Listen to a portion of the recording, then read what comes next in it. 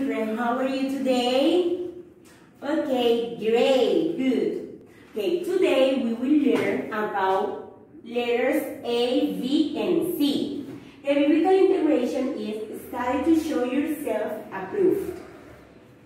A is in apple. Repeat, everybody repeat. Apple. B is in banana. Repeat. Banana, banana. B, letter B. Letter C is in cake. Repeat, cake.